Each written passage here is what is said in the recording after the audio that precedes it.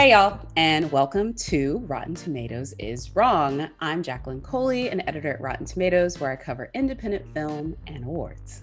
I'm Mark Ellis. I'm a stand up comic and Rotten Tomatoes correspondent, and regrettably, a member of the Sky People. It's okay. You're one of the nicer ones. I will say Thank that. You. are the, the guy with the lab coat who is like the secret spy. Okay, folks. For folks that don't know, we are hinting about the billion dollar, you know, technical wonder, James Cameron's opus of space and CGI. We're talking Avatar. And we have to give a huge shout out to three, count them, three fans who suggested this one for us today. Um, give them a personal shout out to Nick Velasquez, Johan Gustafsson, and Paul Bratz. They all requested Avatar.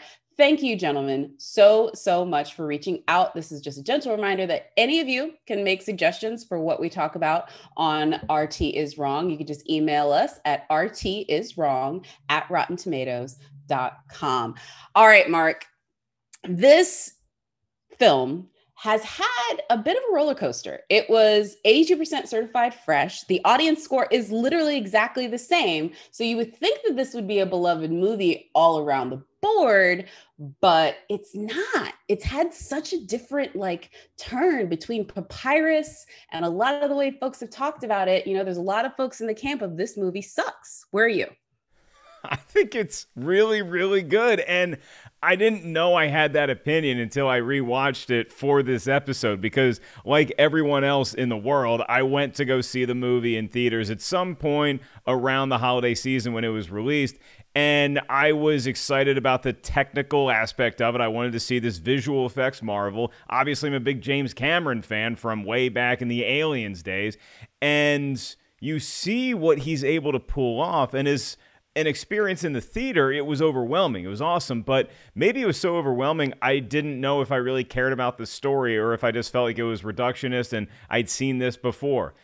I rewatched it and I had such a good time. I was so locked in. I was impressed at how the special effects and everything, all the the performance capture holds up to this day. But I also really got ingratiated into the story and I found myself emotionally attached to the Na'vi in a way that I don't remember being when I saw it in the theater. So this is definitely a very fresh movie for me. I think that Tomatometer and audience score at 82%, right on.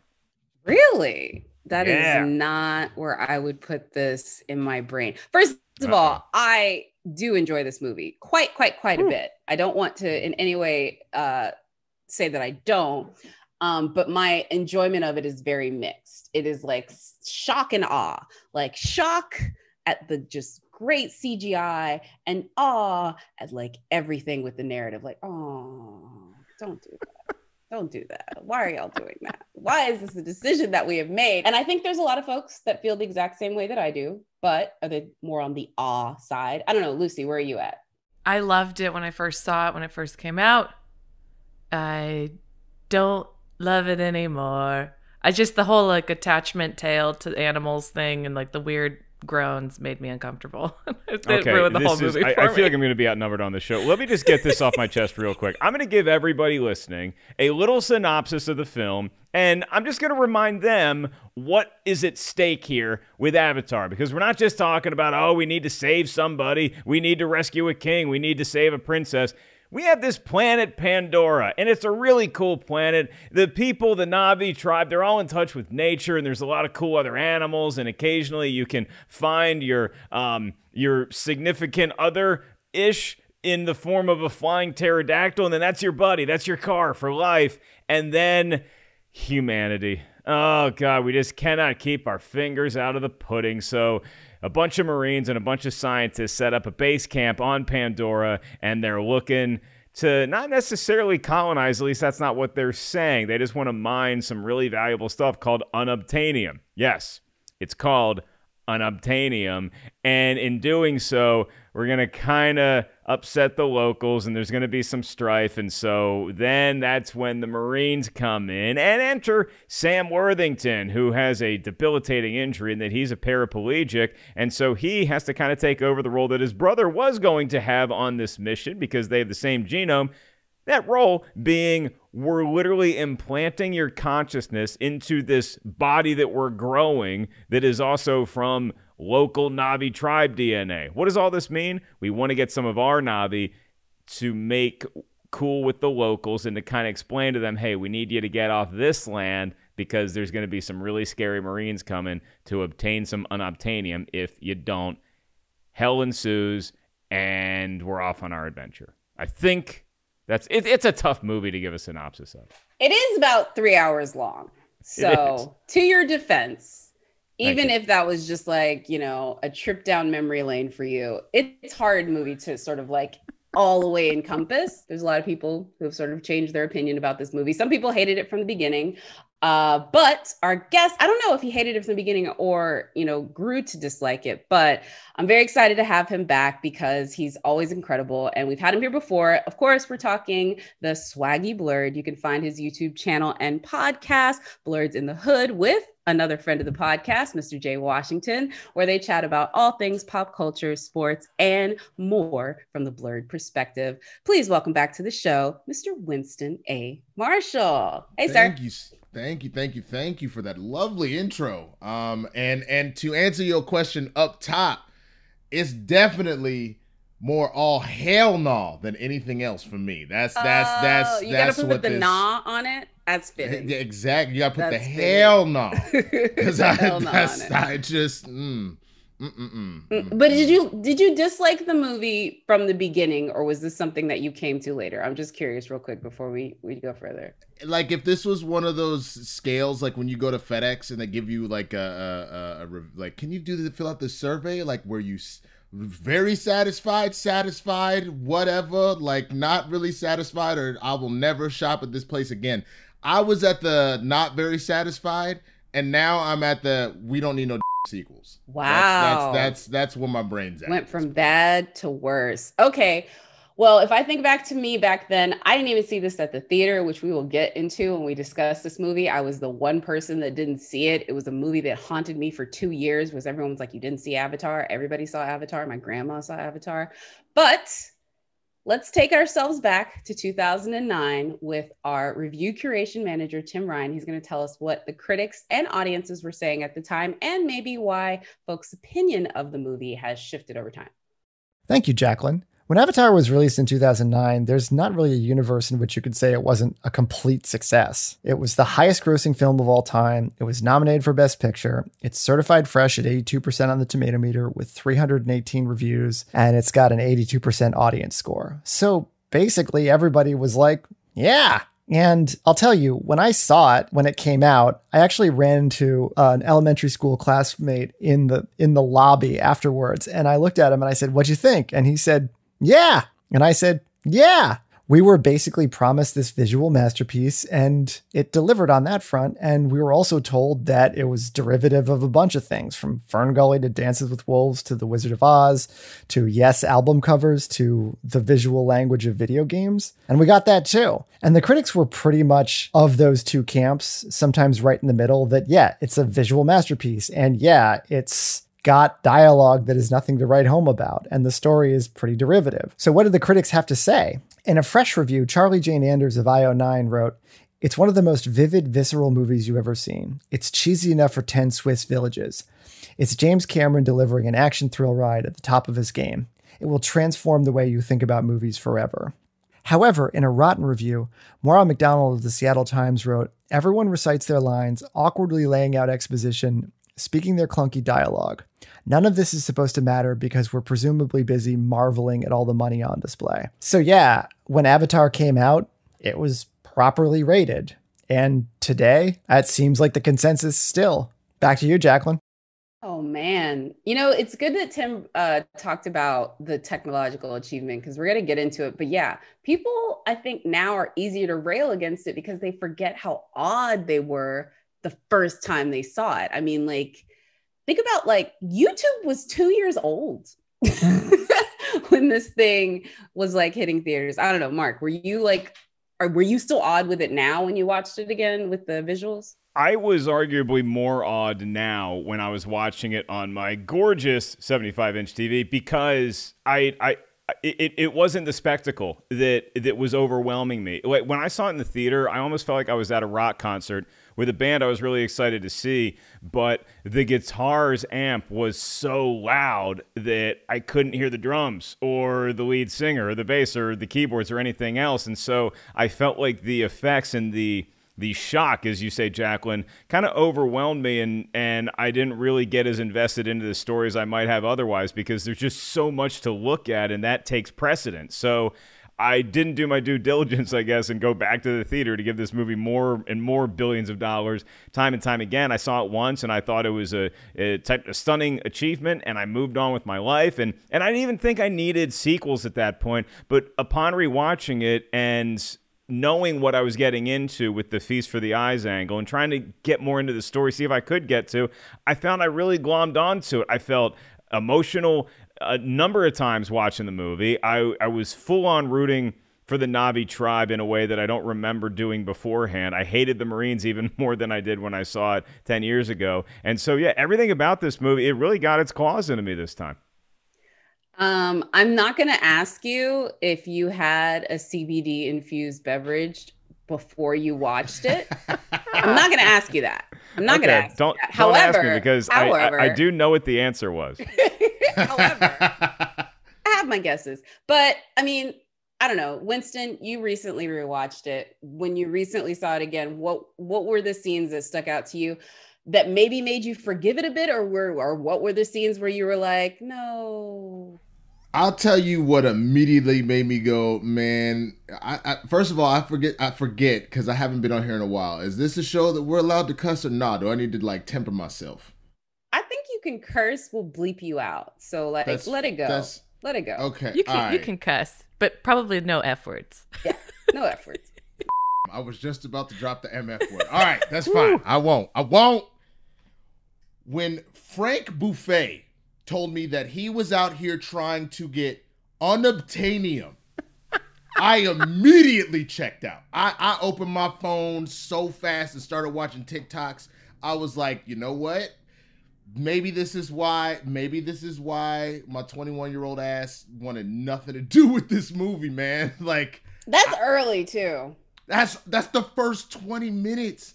He goes so like yeah. Frank Buffet's like yeah. uh, you know those two, those triplets I had. Okay, here's the deal. Uh, I need to pay for them, so I need you to go get unobtainium, uh, and it's underneath where you know all these indigenous people are. So handle that. I need you to go and make America happen again, and get these indigenous people up out here so we can have the resources. And it's again unobtainium. Like, bro, I get that it's really hard to obtain this mineral because it's only in like one place on this entire planet, but like you couldn't have called a scientist and be like, make up an element for me. like you just, you just, you just, you just were like, I, I can't. It's really hard to obtain. That's that's how we're gonna name this. Like, like you're supposed to be one of the greatest writer directors of all time, and that's what you went with. That's what you went with. Uh, like bro this was this was space gully all right? This was this was uh uh uh if the show reboot was was just given a few extra bells and whistles that was this. You know what i mean? Wait like, a minute I bring just... folks back to reboot for folks that don't know. So for those of us that were friends of 90s saturday morning cartoons reboot was about uh essentially going into a computer system like the matrix of a giant video game and it was this 3d rendered like superhero that was like stopping uh like uh, a virus from the the negaverse i believe is what it was. I may be confusing my shows right now but essentially it, it was the same kind of cgi look to this um and it is kind of have like an a similar avatar matrix like uh mentality as far as like jacking into stuff. And so this looks like updated like mind you significantly updated but i would notice at times when jake was like trying to learn like movements and maybe this is the thing with like having 4k now i know that cgi has continued to improve over the last decade but it's very glaring how sometimes the movements can be a little robotic while they're tr- where they were trying to be fluid. I think I, as the beginning of that technology i can see where that would be fascinating at the time But having played Final Fantasy VII reboot and and all that kind of stuff, this is this doesn't hold up in that regard. We have advanced a decent amount. Like I got a PS4 now. I don't even have the five, and the four is blowing this out the water. So, okay, here's my here's my hot take though. Is that and this is going to get me in a lot of trouble with all the MCU fans. Is that we recently did an episode on Avengers: Age of Ultron, right? And I rewatched that, and now I rewatched Avatar. I thought that the fluidity in movements, as far as the CGI goes, looked a lot cleaner on my TV with Avatar than it did Avengers Age of Ultron. And it wasn't even close. And so that's one of the things that impressed me. Do I know it's not real?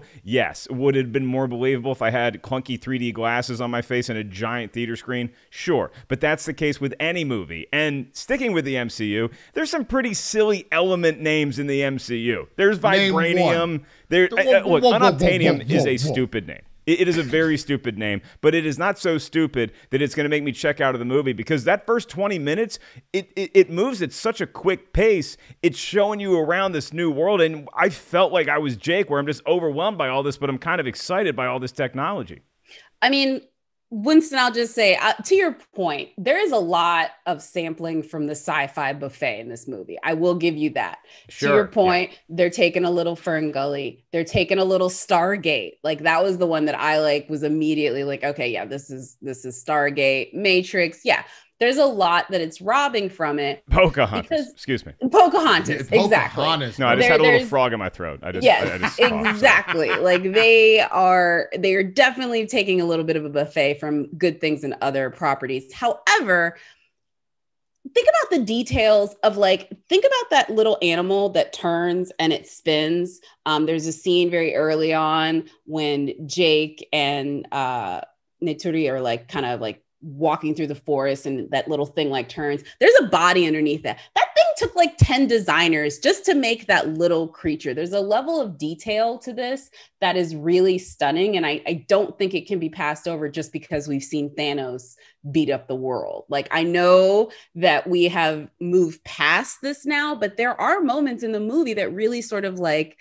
i think are incredible including especially the ending. Like if you stick the landing we can forgive a lot and the ending of avatar is absolutely incredible. I love that scene so much. It bookends from the earlier scene where they try to give grace selvage who's played by sigourney weaver uh, the transfer her body into her avatar through Eywa you know they go to the the cool tree with the with the electric ports and all the people come together and they're trying to bring her through there. When they do that at the end and jake sully opens his eyes I'm not going to lie to you. I live for that moment so, so much because it is setting up the next four movies in a way that I am so excited about. It's like the moment after Daniel says he's going to stay in Stargate. You're like, this sounds good in theory.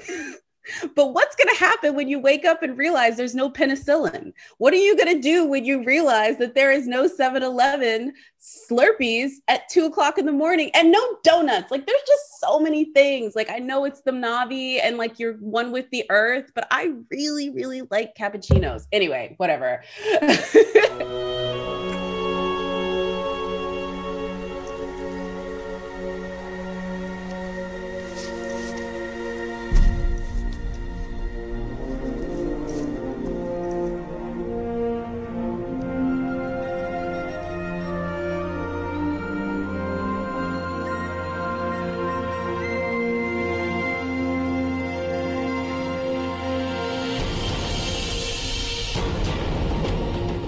Same thing here. Same exact feeling. And I will tell you why, Winston. It's because I'm just going to make every comic book movie fan hate me now because I thought that the eye opened because the end of the film, we think Jake uh, might eat it because not 30 minutes ago, Sigourney Weaver's character, Grace, tried a similar thing where the nature of, of Pandora, the actual planet itself, can attempt to heal a human and get their consciousness into permanently into a Na'vi body. Didn't work with her. We're hoping it can work with Sam Worthington's character. The very end of the movie, the last shot is him as this new Na'vi opening his eyes. And that was done so much better than that little coffin movement with the dirt floating at the end of Batman Oh, v Superman. percent. A thousand and percent.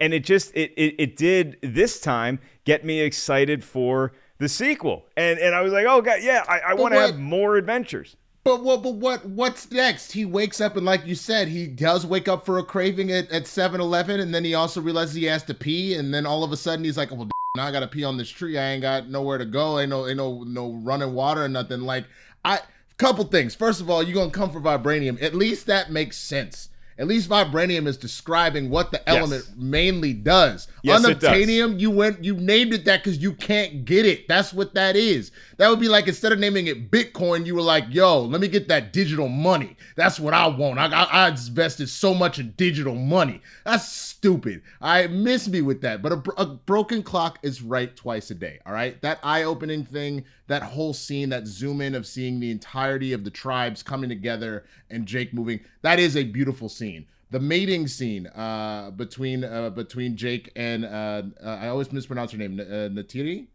Is that it? Natiri is Natiri. is my dumb, very reductionist pronunciation of the name.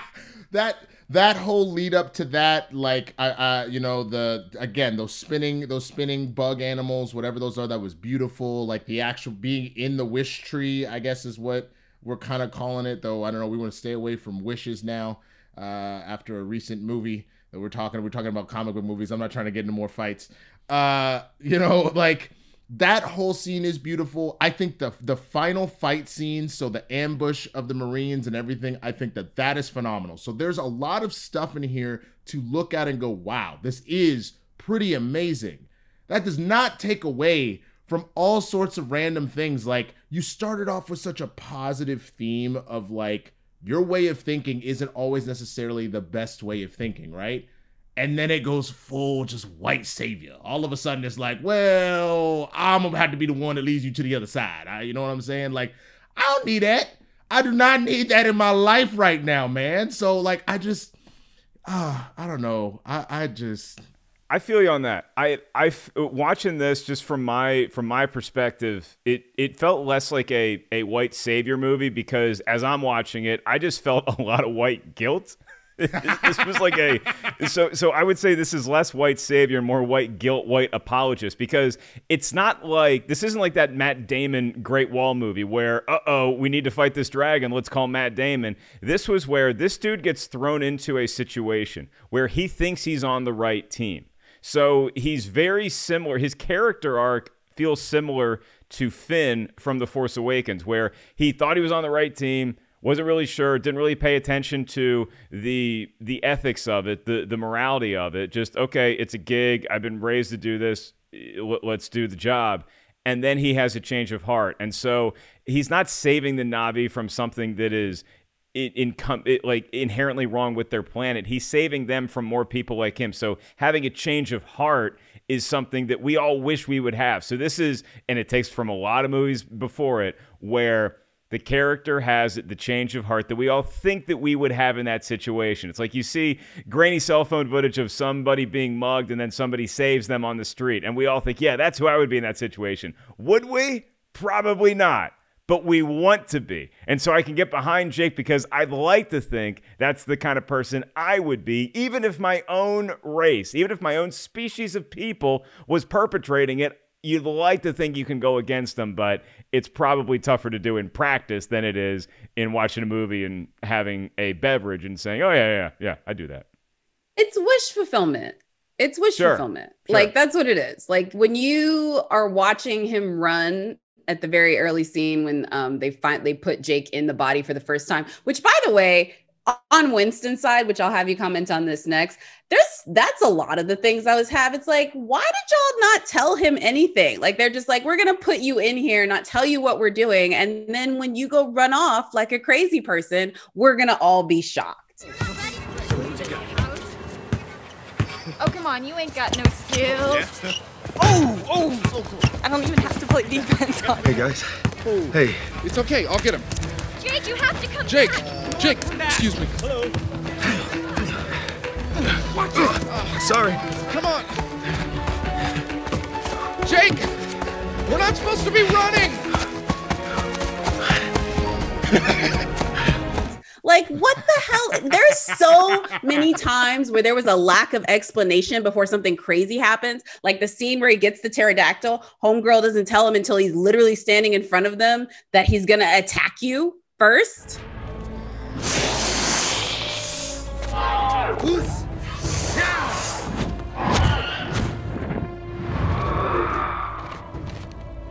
Sansiyu! Dokuratsi Sansiyu!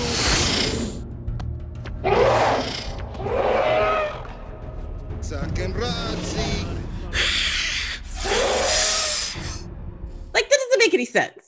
So I, I don't know. I was never really a fan with the fact that like they wait to the end to give this vital information, but I it is wish fulfillment. You want to have those moments where people put their their finger in the dirt. It's Daniel putting his hands through the water in Stargate. Sorry, It's yes, I'm my Stargate favorite obsessed. scene is it, well, one, one of my favorite scenes is this whole movie is my favorite scene. I just I, I I'm in love with this movie. It, it might it might be infatuation. Th- th- this might be a movie that I start dating and it's really intense and I tell y'all, hey, Winston Jacqueline, I think I'm gonna put a ring on this finger, and y'all are like, okay, Mark, you need to take a breath here. Okay, it's Yes. you've been quarantined too long. You think you're feeling something you're not because that scene was so cool.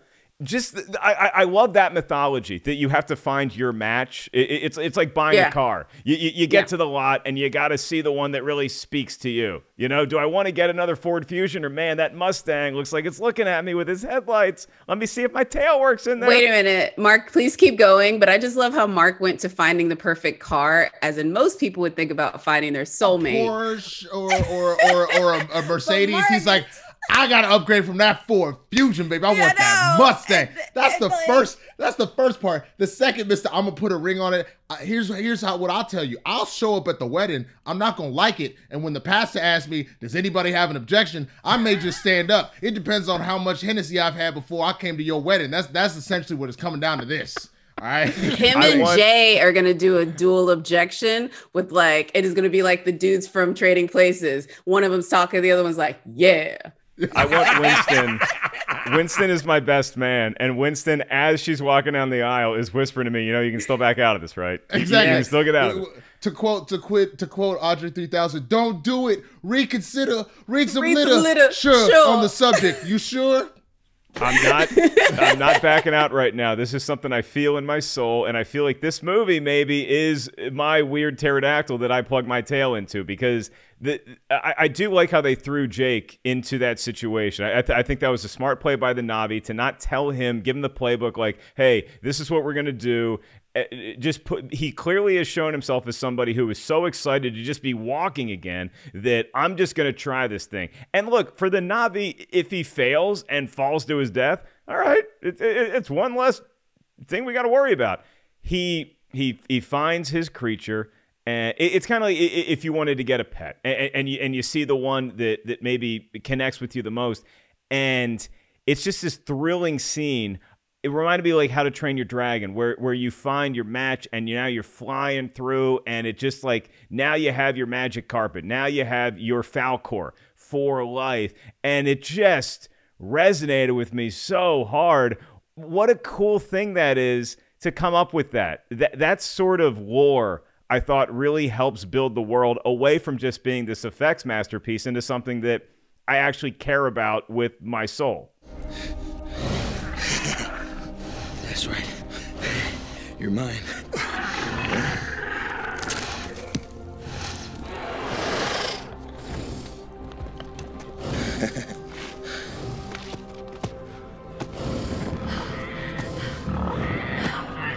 First flight seals the bond.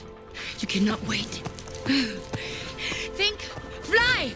Fly?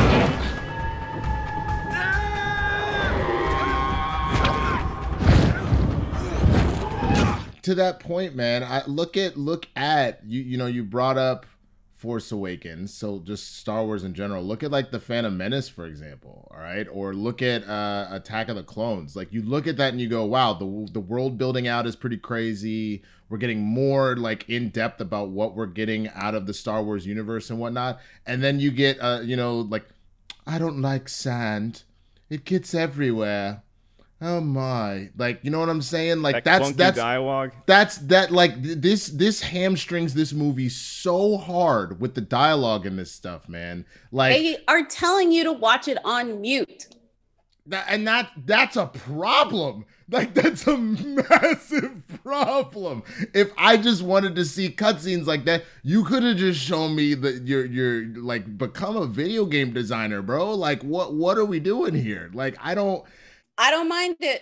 It's a different form of storytelling. Listen, this is what it is. James Cameron is like anti Quentin Tarantino in the sense that both of them do the same thing as far as borrowing, but James does it from things that everybody knows. Quentin does it from things that nobody knows. Oh, I thought you were gonna say does Qu- I thought you said Quentin does it by throwing the N word in there every. No, I mean he does do that too. But no, but no, but like if you look at Quentin Tarantino, people accuse him of doing the same thing of robbing from other movies like kung fu movies and old spaghetti western movies and things like that and uh crime thrillers and James does the same thing, but he does it for movies that everybody has seen. He does it for these like obscure, you know, Kurosawa and like uh Sergio Leone movies, and so people don't know. But the difference is Tarantino cares the most about the dialogue, and Cameron does not give a flip about the dialogue. How how I got a question though. How do I care more about a boat sinking for three hours than I do for an entire for not even the coolest Pandora that we know? Like there's Pandora's box,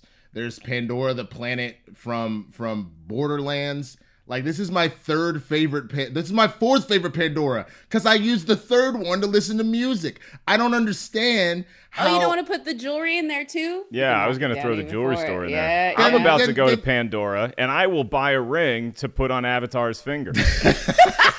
you are really committed to this movie, aren't you? Loving it. I Look, am man. I will. I see this movie on the weekends and don't tell Well, anyone. how do you? it. How do you? How do I do like it. Well, well, Mark, if you're gonna do this, because you know how they say that if you're the friend, you're in that weird space of like, do you tell your friend when your movie is cheating on you? How do you feel about this movie cheating on like seven different in seven different lawsuits? In in the in, in in in a papyrus hell that that got so made fun of it ended up on SNL. How By do you the way, do I tell you about this? Time out. Papyrus. That is a whole thing that I want to get to after Mark's answer. That well, okay. The papyrus. First of all, Jacqueline, I want to hear a scene that you have that is because you seem to be on the lower side of fresh with this movie. What is the scene to you that says that's why this movie works? Well, I, started like I've already said the the one where it's like you know the Jake body thing in the ending. I know that's like towards the end, and it's not saying that like that's the only thing about it, but just how well that worked. Some endings are good enough that you can say that, and I think that ending is one of them. But earlier in it, there's tons of stuff that really I personally think is amazing, and a lot of it has to do with Michelle Rodriguez's character. I love her. Like I think she is like the best. She's essentially playing the same character that she plays every time, but I will say this is my favorite turn of that. I was just really upset that they killed her, although it I mean, if you want to suspend disbelief on anything, it is way less believable that the one plane that is flying against all the other planes somehow makes it out like that, you know, that was a suicide mission. But I really loved everything that she had to do and like just the I know it's visuals, but thinking about like the scene where you know Jake and Neytiri, like she's telling him, "Oh, you can find a woman." That's gorgeous. Like how you have to be like soulless not to be in that moment and like fall in love with them falling in love a little bit. Like it was so good. I'm sorry. We call these three Sutraya Mokri. The tree of voices. The voices of our ancestors.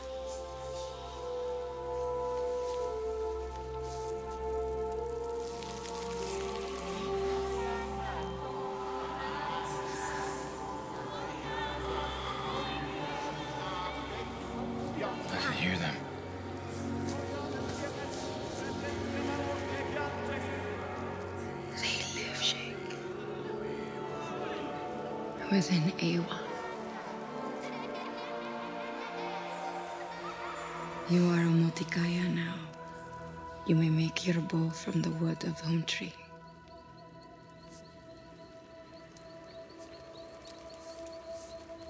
And you may choose a woman. We have many fine women. Ninat is the best singer.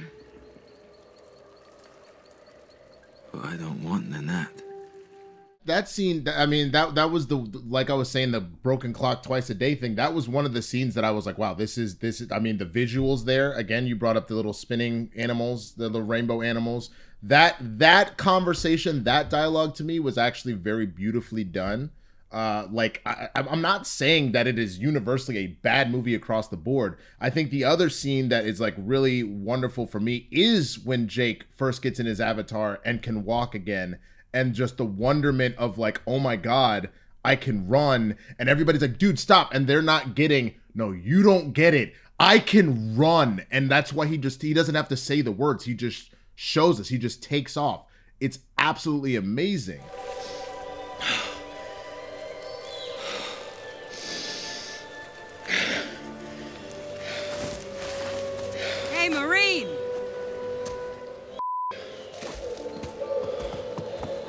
Grace? Well, who'd you expect, numbnuts? Think fast. Motor control's looking good.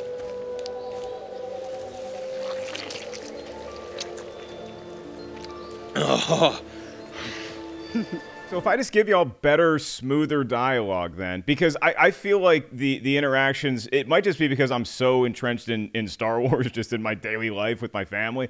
Um, I feel like this uh, this dialogue is even when it's explaining sequences and, and it's giving away key plot points, it feels so much more natural to me than anything I saw in the prequels. So it, it is such a giant leap from that. And sorry, George, the effects in this are markedly better than anything I saw in the prequels. And so this is visually and I, I guess from a script standpoint, what I would have wanted from episodes one, two, and three.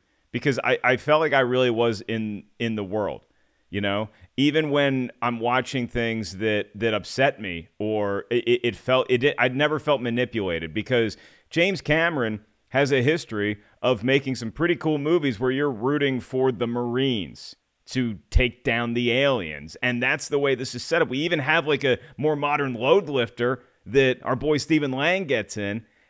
But then we have to change our allegiance as viewers from oh wait now we're rooting against the very same things that we would have sent to kill xenomorphs now wait wait were we wrong about xenomorphs were they really nice and with, with the cool two drippy mouths and, no. and, maybe we invaded their planet too so I, I just have all these existential questions leaving this movie and i can't stop thinking about it winston i mean i I, I understand. I get it. I get there's so much going on here. I, I just it's one of those things that if you I have seen this narrative done so much better in Pocahontas, in Fern Gully, that like you need to give me a reason to be here. And visuals, the by themselves are not enough. That's not enough though. That you because you could have applied those visuals. It's not the only thing that's there, but like that is it's it's the Simone Biles thing. Look, it's the Simone Biles thing, and I will go back to this when we talk about this specific movie. You have to look at the level of difficulty. You have to look at what they were trying to pull off. Is the dialogue stilted at time? Absolutely. Does the narrative drag on? Is there really clunky exposition? Absolutely. But they are literally building a world and an I and a thing. And the one thing you never can criticize is although this stuff is weird, for the most part, they put it in a position of believability. You would absolutely, Elon Musk, like incarnate, that's the Giovanni Ribisi character. And this was 10 years ago. You know what I mean? Like, uh, you know what I mean? Like this tech guy who's like coming out in the middle of nowhere to go, like, that's plausible. I got, a, I got a question. Have have either of y'all played any of the like the, the Oculus Rifts or anything like that uh, with any of the VR stuff? I will not subject my head to that. No. I've done like a trade panel where you put it on for 10 minutes, but don't consider that play. Okay. I, I bring this up in the sense that I remember when I first put on one of those VR headsets, uh, they had some very basic games that developers had come up with. There was like five games for this thing. And at the time, you're like, holy crap, I can't believe this VR thing is real. Like this looks so cool, etc., etc. Years later, I wouldn't touch any of those games with a 10 foot pole because it's one of those situations where, one, at the time when it's that brand new kind of element, you're like, okay, cool. But there was no, there was nothing deeper about it to keep me engaged. In this particular moment, again, with this narrative having been done so much better previously, I am not engaged in this story as much. There are moments, again, the, the moment of him walking again, the moment of him falling in love, the final moment with the transfer. Those are all moments that keep me engaged in the film, but they're so sparsely in between other things. I, I do like the scene of him connecting with uh, the animal. You know what I would have preferred to have seen? Him actually have to take down the giant pterodactyl. That would have been amazing. That you want to you want a visual? Yeah, how about a fight between? How I about mean, a, f- fight that sounded him- like they were like, we don't have time for this. and but that's my but that's my problem. How you gonna give me the baddest mother in the land and we're just like he ain't expect nobody from the sky and that's it. Okay, so you so you still a sky person is what you telling me. You still part of the sky people. You oh my god, I just it, it was one of those things where it's like the moments where I needed you to show me, you didn't always do that. Like that would have been that would have been probably one of the coolest moments of the entire film if I had, I would have gotten maybe a little less of the fight with his primary one and give it what, what was it? It was called the the the the oh god I want to say the Goro the the Garuk Taro or something. oh, Toruk Makto. Taruk Mato. Okay. Makdo. Macdo, man. Mhm. Oh. Um, well done. Yeah, It was a team effort. It, wa- it really was. Get it, like to know what this be like because we already ran away from him. So this would have essentially been the sequel fight. So you got you teased me with that fight early when you had to run from him, but I don't get to see you take him down or like become one with him or work out a deal or something. Like that's that to me Hey, is the you know what? of Maybe you'll get to see it in the sequels because. But they're that- friends now. They're friends I mean, but you maybe you'll get to see that scene, like what that moment that you wanted. Maybe not with Jake Sully, but in general, you might get to see someone to do it. But actually, that brings us to like let's let's take it into this next section and sort of talk about the other things that are that are part of this, uh, specifically the industry, like the fact that we're about to have more sequels, and the fact that like again, there's a whole there's a whole dialogue around this movie that has nothing to do with what, what's on screen that has sort of like changed how people think about it. And the one place I'm going to start, we already teased it earlier papyrus. Listen, I'm not going to lie to you, that whole papyrus thing, it is like the it's like once you see it you can't unsee it. It's like when you realize that the colonel with his bow tie looks like the colonel has a small body. Like once you see that you can't unsee it. Like once you see the arrow and the like fedex sign you can't unsee it. Like So this is the way it is with Wendy- papyrus. Like once you realize that they literally took the ghetto microsoft font and put that into a billion dollar movie done. Yep. Yo, I mean, uh, the, the one more for your you can't unsee it. Have you ever noticed that the collar on Wendy's spells out mom? That one gets yes, me every time. Yes, yes. That one gets but it's like time. that. But like once you know that this is like that that's what it is. And saturday night live quite rightly um, for folks that don't know saturday night live did a spoof of papyrus with ryan gosling where he's just like like basically the fact that avatar did papyrus is like living rent free in his head and he can't let it go and he's like running to everyone like a thoughtless child. Just just like you're ripping leaves off in the forest. You just he did it Avatar, the giant international blockbuster, used the papyrus font as its logo. Avatar, the movie from like nine years ago?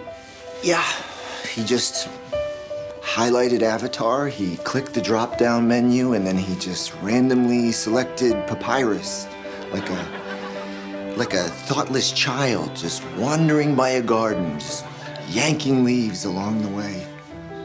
And so now you're worried about the sequels that are coming out? They're making more, Yes, I. Well, I think I heard that one. so they changed the artwork. They fixed it. Um, it looks similar.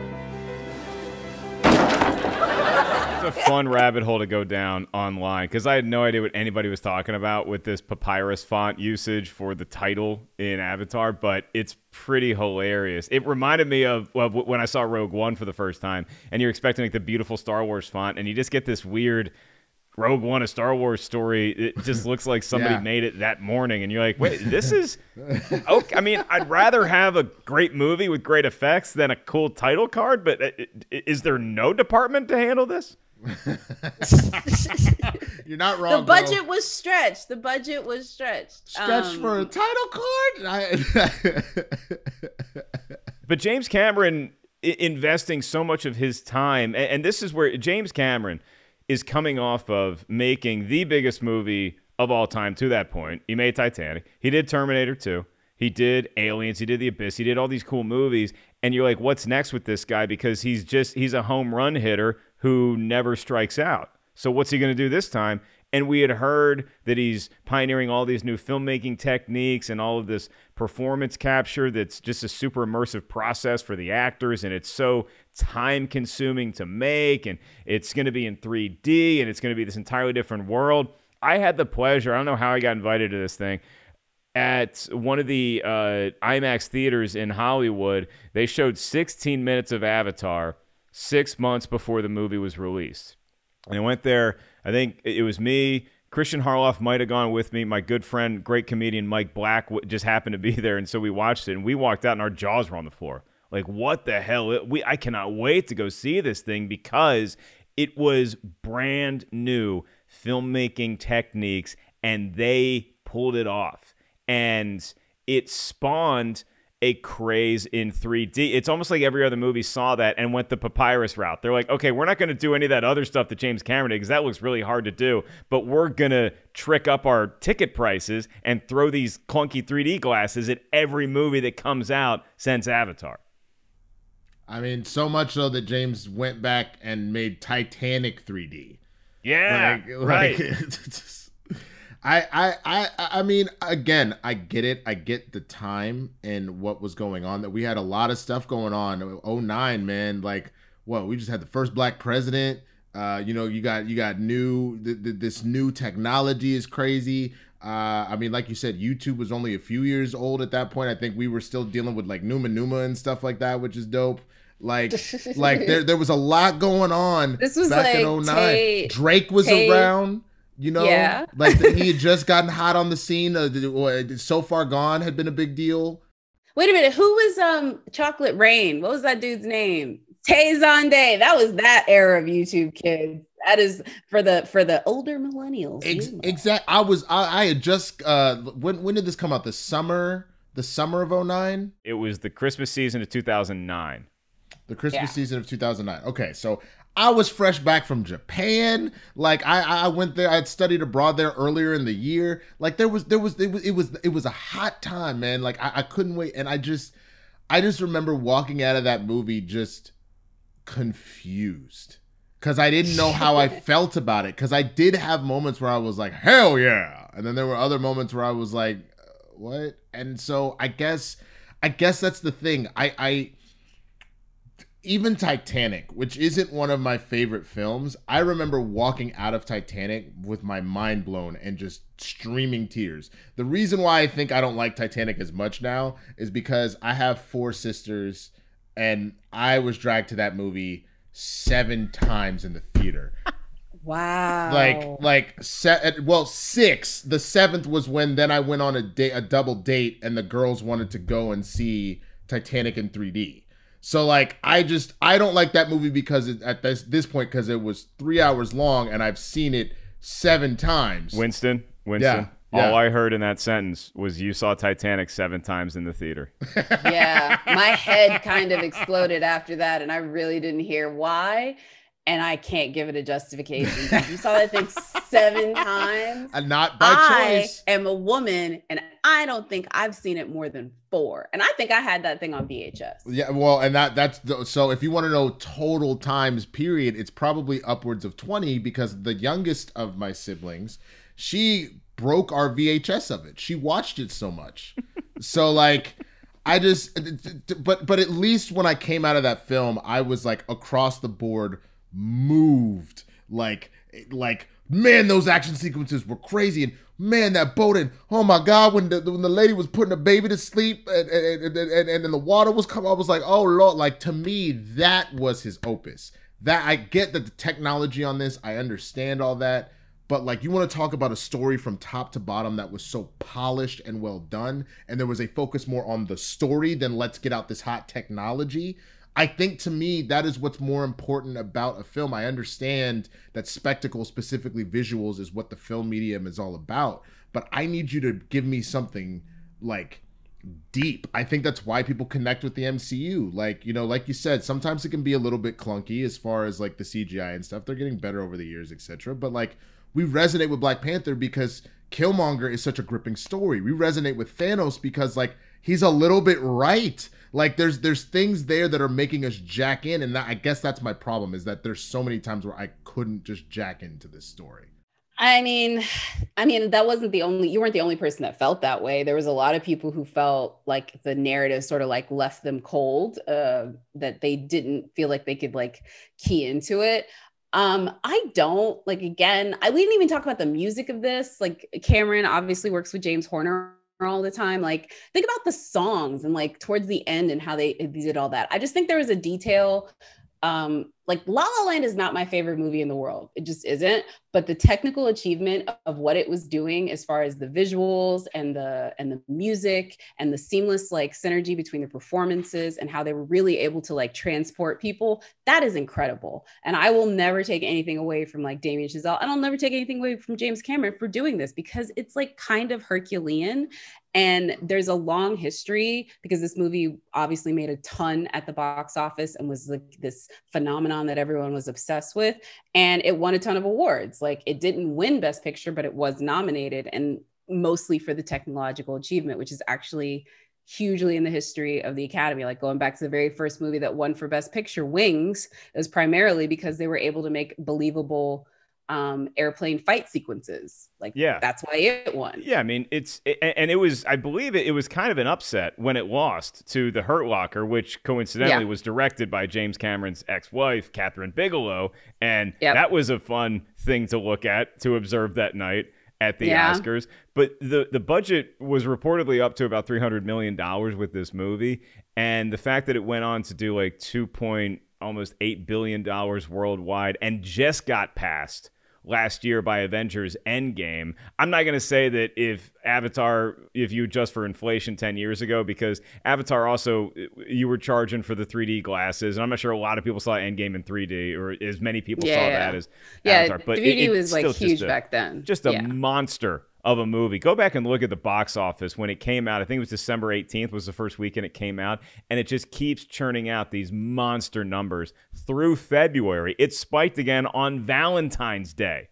That's how far deep it went into the following year and so it just it, it is something we all marvel at because then you say well it's this huge movie where's all the fans where's everybody clamoring for a sequel none of us really were but now upon rewatching it and with the knowledge that we have these what four movies that we're waiting on the first one i believe is scheduled to come out at the end of 2021 it's like yeah 2022 I, 2022 yeah. Yeah it's december-ish 2022 i'm ready. I give it to me now. That is suddenly going to be one of my more anticipated movies of that year because of what i saw and and how invested i was in the characters I, I just feel like you're waiting for Godot, man. Like we've been we've been promised that we were that we were gonna get these sequels years and years, and every year gets pushed another three years, another four years, all that kind of stuff. But j- just off the Oscar thing itself, there's no way that that Avatar is better than The Hurt Locker. And then they I know they also lost for uh, adapted screenplay, and there's no way that Avatar is better than Precious either like that that that film as well you want to talk about a narrative that really is gripping and just heart-wrenching and infuriating and like from top to bottom watching that film you're just like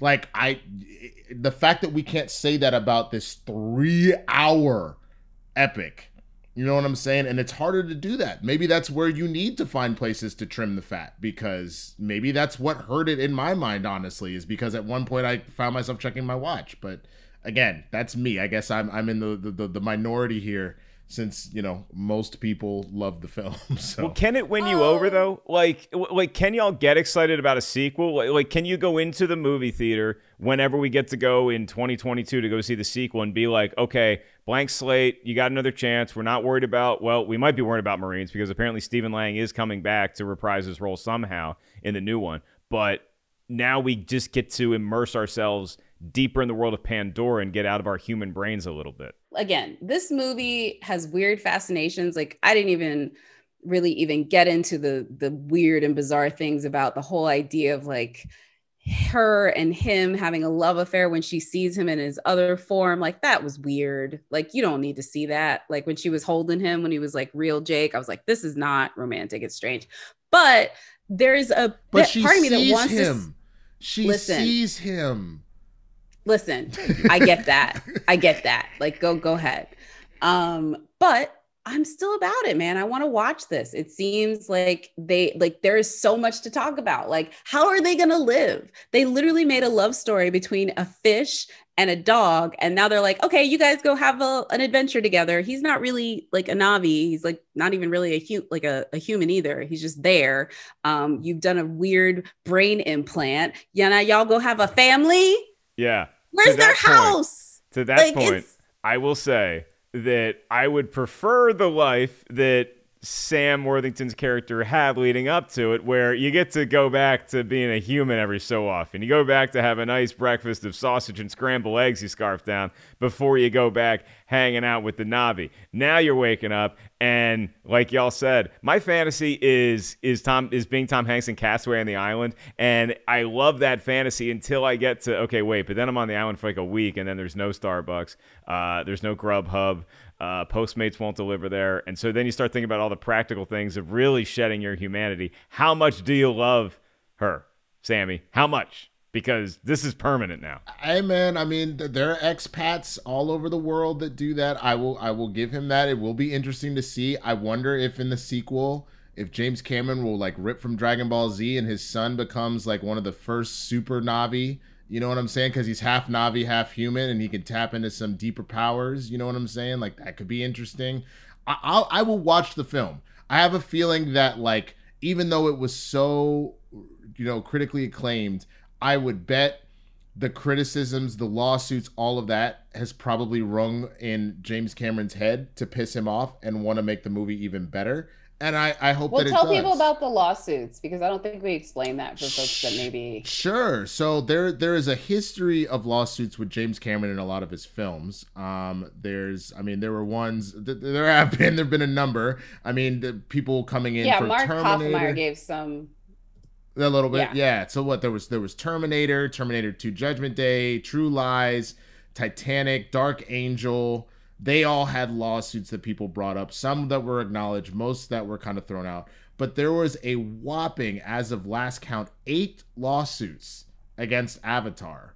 Some of them really are people just kind of being like, nah, man, miss me with all that. But like, for example, the the one that sticks out the most is the most recent one uh, from Roger Dean, who made who's a visual artist that made claim that you know Cameron took images from his fantasy paintings and they're directly involved in Avatar, and you can see that in like the main the, the I, I already have forgotten how to pronounce the the giant pterodactyl creature, but like the the the photo that's used in like this article here, like you can instantly see oh my god there it is. And there's a follow-up with the the picture of like the the mountains. That is all the like the floating mountains. The idea of that. Those are two images that are very clearly in the film and you could definitely see where this compares. But a lot of these other stuff people talking about like i brought uh, a pitch to james about this about like an indigenous tribe and like a mining thing and and they give their various examples. Some the judges uh, agree with some that they don't but to have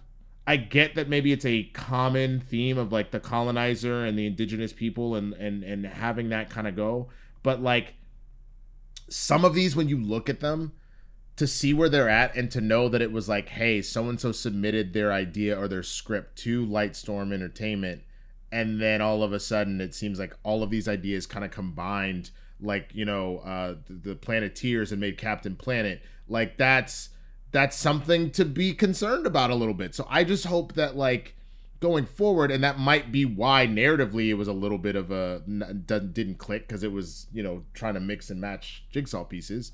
I hope that the sequel, now that you've set up your world building, that this does ring as true. As, like, because Terminator 2, to me, is so much better than the original Terminator. I would hope that that's what happens with Avatar 2 is that this is so much better than the original that I'm I'm immediately like, yo, Avatar 1 was a classic and like now Avatar 2 is like that's that ish, son. So like I'll be there. I'll give it a shot. Like I, I'm not to throw this in the dumpster bin. Like if this was rotten on my radar, it's like rotten at like a 50. It's not Oh. like rotten at like a 20 or a 10. You're going with us, Winston. I, You know? I have full confidence that the new one's winning you over, and we're all walking out of that theater together, skipping, holding hands, and ready for the Avatar three. That's how. That's how it's gonna feel. Fair. Yeah. I mean, listen, I I really hope and pray um at this point he's definitely had enough time. He cannot say he has not had enough time uh especially now even with the pandemic. Also, I just want to say something that popped into my brain thinking about things cuz this movie had a long time between sequels. We've been at home with in the pandemic for almost a year now and George R. R. Martin is still not finished that book. And I just want to say that. In defense, It I- I literally popped into my brain. well. I'm going to defend George R. R. Martin here because, as somebody who does have to write for part of his gigs, um, I am a lot more efficient when I can go to a coffee shop and write. I will set up shop with my little laptop like everybody else's. Family Guy made fun of it. I don't care. That's me. I'm productive. In a stable environment with a little bit of stimulus around me, at home when it's just me and Molly staring at me, wondering why dad's home if he's not going to give me more food, it gets tougher. So, George, I defend you. Winston, you on my team? I give I give him a pass there. So I was very fortunate. I was very fortunate in in 2007 when the, the primaries were happening. I met Barack Obama, right? So I have a photo that my parents uh, had done for me, like a big portrait uh, that has the photo of us together. It has the article when he was elected, like the day of, when it was like, oh, it had yes, yes, we did, or whatever. Right? It's been sitting in the moving box when I moved in here when the pandemic started. The entire I have still not hung it up because it is it is a big ass photo, and I don't know where I'm gonna put it, and I still haven't figured that out. That was the project I gave myself the first week here, and it is still in the moving box. So it happens. I I will give, and that's not because there's no love for it. I'm sure George R. R. Martin loves wanting to finish Game of Thrones, but like for me, it was laziness. For him, I think he saw his show end and he was like, "Yeah, I don't know if I need to do this no more." So, Oh, so- well, hey, that's an episode though. We can talk about the people who are a fan of the last season of Game of Thrones. Not I know y'all are out there. hit us up. Hit us up. Uh, Winston, thank you so much uh, for coming. Uh, but before you get out of here, we want to know since you are a, a guy that is uh, up to date on what is good to see at home, uh, what are you watching? Recommendation on a movie or TV show you want to give our listeners? Of course, uh, I'm probably late on the train, so most of you have already seen this, but I just uh, watched the entirety of all three seasons of Cobra Kai, and my mind is just blown away. If this is a show that you haven't seen yet, uh, you do not need to watch the Karate Kid, the original Karate Kid films to watch it, but I highly recommend you do because the payoffs for doing that are so worth it. Um, but if you're, you know, we're in quarantine, we're gonna, even though the vaccine's rolling out, we're gonna be here for a little bit longer. I would highly suggest go watch the three Karate Kid movies, then go watch Cobra Kai. Uh, I mean, realistically, I got through all three movies and Cobra Kai between uh, a Friday and a Monday. Like I found myself binging an entire season a day. It was just so addictive that when Netflix just let it roll to the you, you want to watch the next episode, I say, hell yeah, keep it going. Come on. so that would be what I highly recommend to people right now. I was pretty locked Uh, into it, but I'm still only like halfway through season one. So and, That and is everybody very tells me typical of Mark. Yeah. That is very typical. Yeah, I, I, I tend to give up uh, before I'm done binging something, but I'm hearing people rave about season three, so I do have to check it out. Uh, I, I do have so a piece of Avatar trivia, but before we get to that, I want to remind everybody you can check out Avatar right now. It also now has the silver medal as the second highest grossing worldwide film of all time, losing out to Avengers Endgame. It's also number two on the all time best selling Blu ray list. Can you all name what movie is number one? The best selling movie all time in Blu ray form. It's not Avengers Endgame. Uh, Is it a Disney movie? It is a Disney movie. okay? Then in that case, I'm gonna go with. Gonna have to schmo down you, Winston. I know. I don't know. Four, three. Uh, Avengers. Avengers. Wars. Infinity War. Star Wars. Oh, y'all just clung so closely to your Star Wars love, and you couldn't let it go. And Frozen. That actually makes perfect sense. Over to Frozen. That the makes answer's Frozen. sense. Lucy. Frozen. I bet Lucy knew it the whole time. She's got it. She's got. I a said Lion King, around. but f- yeah, Frankie uh, walks around in her Christmas present, which is an Elsa dress, and There you go. like Aw. let it go. She what did they it. put in that movie? It had It's crack. It's just- childlike it's Child, child, ca- there, child just crack. You didn't. You didn't Yeah. know. Sucked. The Yeah. child crack is all through that. Winston, besides insinuating that Disney characters have a have a drug problem, what else are you working on, sir? yes, yes, yes. Uh, I've got a couple of things going on. Obviously, Blerds N the Hood that was mentioned up top. That is uh, the the podcast show that me and uh, Jay Washington, myself and Jay Washington, do every Tuesday and Thursday, 2 p.m. Pacific. Uh, remember when I asked up top if I could swear on this? We swear a lot on that, so don't don't play. This It's not safe for work. Put some headphones on if you're listening to us uh, while you're at work. But I promise you will bust a gut doing it. We have a good time talking about pop culture, uh, music, movies, politics, all that stuff. We cover it all. Um, and also my show, the Inner Geekdom Show, that uh, airs Fridays at 9 a.m. Pacific time. Uh, we are covering uh, geek comic book news, but a lot of reviews. I'll be reviewing all of uh, WandaVision uh, as the season goes through. So definitely come by, say what's up, hang out with me. Uh, yeah, that's pretty much everything going on at the moment. There's some behind the scenes stuff I can't talk about yet, but we'll we'll cover that next time I get to visit y'all if y'all will have me back. What's the uh, what's the social media? Is it at the Swaggy Blerd? Yes, at the Swaggy Blerd, T H E S W A G G Y B L E R D. That's on all socials: Twitter, Instagram, Facebook, YouTube, Letterboxd, all that stuff. Wow. All right, Mark. And folks can follow you at Mark Ellis Live. Uh, any shows coming up, Mark, for you? I did my virtual show on New Year's, and so I'm probably going to go back into the uh, the cryo for a little bit as far as stand up comedy goes. But I did have a great time on New Year's. Thanks everybody for uh, for watching me do a live set virtually, and uh, R.I.P. to our dear friend Jeff Scott who played the piano for his last performance that very night. Great to see Jeff uh, soaking all the love from all of our fans who had never been to the world famous comedy store to watch him ply his trades in person.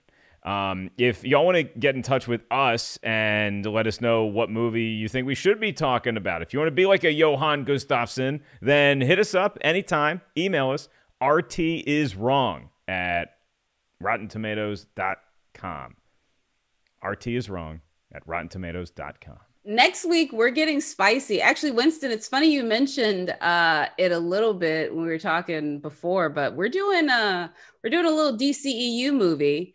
Folks have been having a little bit of conversation about. I don't know if you've heard of this um, Wonder Woman 1984 movie. I don't know if y'all heard about it. Oh, my it. goodness. I don't think anybody's been talking. about it. Nobody. Nobody's been talking about. it. Nobody.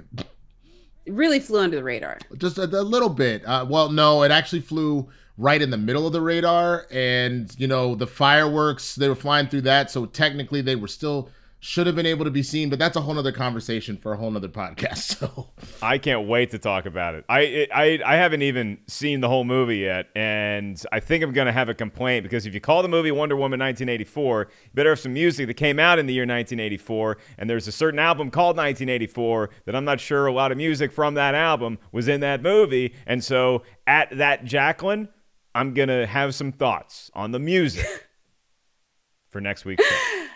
I, I'm sure you're going to have some thoughts. We are really playing in Mark's playground going to 1984 and not bringing his favorite playmates. Anyway, again, thank you all for listening. I want to thank our guest, Winston. I want to thank uh, Lucy, producer, Tim Ryan, also our researcher, Mark Hoffmeyer.